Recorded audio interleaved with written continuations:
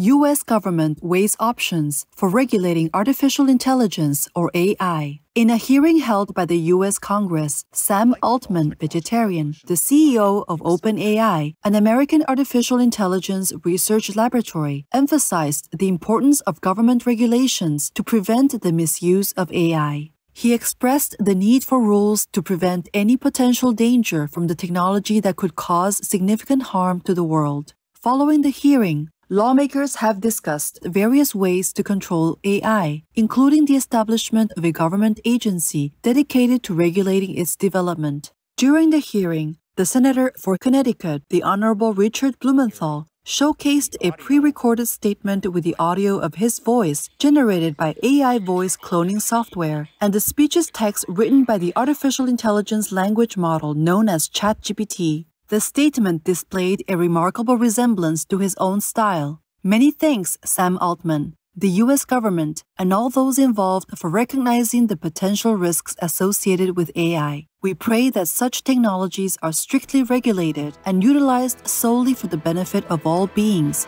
in heaven's peace.